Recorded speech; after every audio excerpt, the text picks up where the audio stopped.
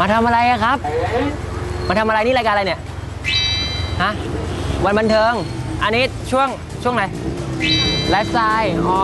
มาถ่ายใครอะครับ ถ่ายถ่ายพี่ ถ่ายพี่ดิว ถามพี่ดิวหรือยังว่า วันนี้คือมาทำอะไรแถวนี้ยังไง นั่นสิวันนี้วันนี้วันนี้เดี๋ยวผมจะมาเอ่อปั้นเซรามิกแถวนี้ แล้วก็ตอนนี้ก็เดินเล่นหาอะไรกินนี่ อันนี้ร้านลูกชิ้นหมูแพรกนาราอร่อยมาก วัสดีครับสวัสดีครับ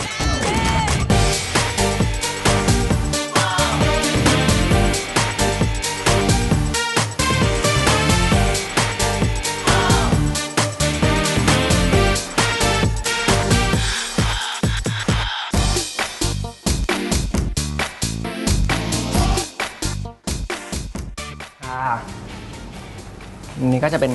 ที่ที่ผมจะมา ปั้นเซรามิก ที่นี่เนี่ยจริงๆ เป็นที่สอนเวิร์กช็อป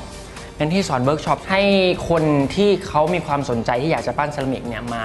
ได้ทดลองมาเรียนมาปั้นดูแล้วผมเนี่ยเรียนมาคอร์สหนึ่งพอเรียนเสร็จปุ๊บเนี่ยเราก็ได้ทำของขวัญให้คนนู้นคนนี้คนนั้น ผมก็โพสต์ใน IG ไปด้วยนะ แล้วก็เอ่อวันนี้เนี่ยมีโครงการเอ่อ Art for the Blind ศิลปะเพื่อคนตาบอด แล้วก็เอ่อมันจะมีงานนิทรรศการเอ่อความสุขที่สัมผัสได้วันที่ 18 กันยายนนี้ ผมก็จะมาปั้นเซรามิก แล้วก็เอาไปแสดงในงานวันนั้นด้วย นั่นแหละจุดประสงค์ที่มาในวันนี้ครับผม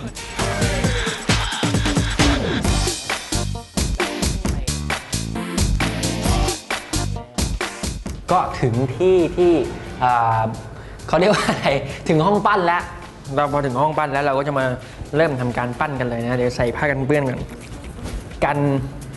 กันดินเลอะเทอะเปื้อนเปื้อนถามว่ากันได้ไหมไม่เคยกันได้เลย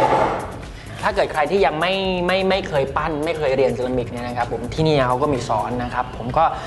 มาปุ๊บเนี่ยก็บอกเลยอยากจะเรียนเซรามิกหรือว่าเข้าไปดูใน IG ก็ได้ชามเลนสตูดิโอนะครับผมก็สอนฟอร์มง่ายๆก่อน แล้วเขาก็จะปล่อยอิสระให้เราปั้นเต็มที่เลย อยากจะปั้นอะไรปั้น อยากให้เป็นทรงไหนปั้นเต็มที่เลย แล้วก็พอผ่านจากการปั้นเสร็จปุ๊บรอแห้งเนี่ยเราก็จะมา อีกครั้งหนึ่งแล้วก็จะมา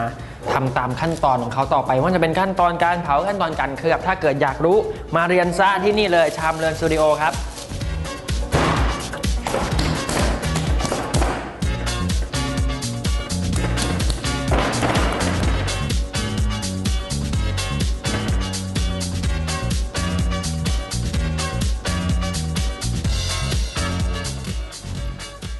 นะอันนี้ผมก็จะผ่าดินออกมาเพราะว่า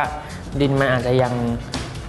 ชื้นน้ำไม่พอนะมันแห้งขอบๆเนี่ยข้างในมันยังดีอยู่ แต่ว่าผมก็ต้องเอามาสาดน้ำลงไปกัน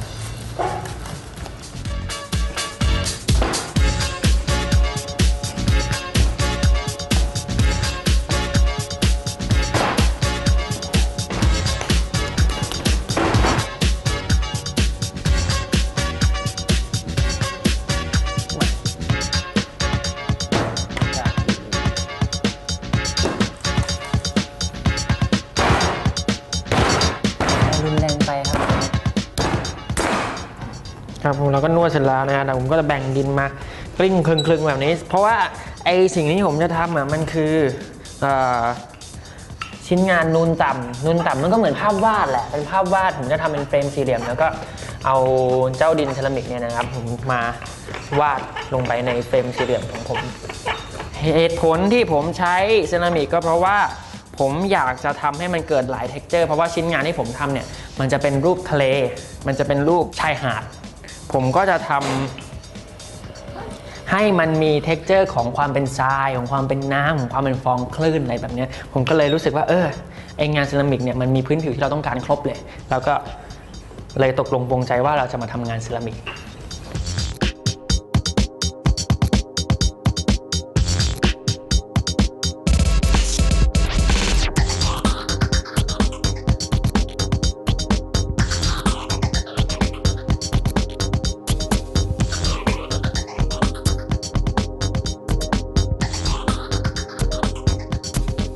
ร็จแล้ว ตอนนี้ก็ปั้นเสร็จเรียบร้อยแล้วครับตอนนี้เนี่ยเหลืออย่างนึงคือรอแห้งแล้วก็อาจจะต้องมาขามันเป็นชิ้นส่วนนะเพราะว่าอันนี้มันจะเอาเข้าเตาเผาลำบากอันนี้เป็นไลฟ์สไตล์ของผมที่ถ้าเกิดมีเวลาว่างก็จะมาทำมาทำกิจกรรม อะไรพวกนี้แหละปั้นบ้างวาดรูปบ้างเพ้นบ้างหรือทำอะไรเกี่ยวกับศิลปะดูแกลเลอรี่ต่างๆบ้างอะไรก็เป็นอีกหนึ่งวันชิลๆของผมไลฟ์สไตล์ของผม ถ้าเกิดใครอยากจะมาปั้นแบบ ชิ้นงานเซรามิกแบบผมนี่นะครับผมอันนี้ผมเป็นปั้นมือต่างแต่ว่าจริงๆแล้วที่นี่เนี่ยเขาสอนปั้นแก้ว ปั้นแจกันปั้นตุ๊กตาอะไรก็ได้นะครับถ้าเกิดอยากจะมาเนี่ยก็มาที่นี่เลยชามเลินสตูดิโอนะครับผมอยู่ที่แพร่งสังกษานะครับผมบริเวณเสาชิงช้า เพราะว่าบริเวณเสาชิงช้าเนี่ยแล้วตรงนี้มันจะอยู่ใกล้ๆกับศาลเจ้าพ่อเสือเลยศาลเจ้าพ่อเสือมานิดนึงแล้วก็มาแพร่งสังกษานะครับผมก็ ถามคนแถวๆนั้นดูก็ได้ว่า เออสตูดิโอปั้นเซรามิกอยู่ตรงไหน Charm Learn Studio อยู่ตรงไหนเขาก็จะแนะนำมาที่นี่เลยแล้วก็มาทำเซรามิกคลายเครียดกันนอกจากคลายเครียดแล้วเนี่ยได้กำลังแขนด้วย ครับผมแล้วเจอกันคราวหน้าครับได้ ฝีมือขนาดนี้นะคะนครัอบกจากทำใน DIY ในเพื่อเธอแล้ว จะนำศิลปะไปโชว์อะไรที่ไหนยังไงไหมคะใช่ครับณอ๊อฟก็จะมีงานประกวดนะครับเพื่อคนตาบอดนะครับวันที่ 18 กันยายนนี้ซึ่งหนุ่มดิวเนี่ยก็จะเอาผลงานที่ทำเมื่อสักครู่เนี่ยนะฮะอืม ไปโชว์ในงานด้วยค่ะ ติดถ้าตามเกิดว่ากันได้ใครอยากจะไปเป็นกำลังใจให้น้องดิวนะคะ ก็ครัไปบได้ค่ะ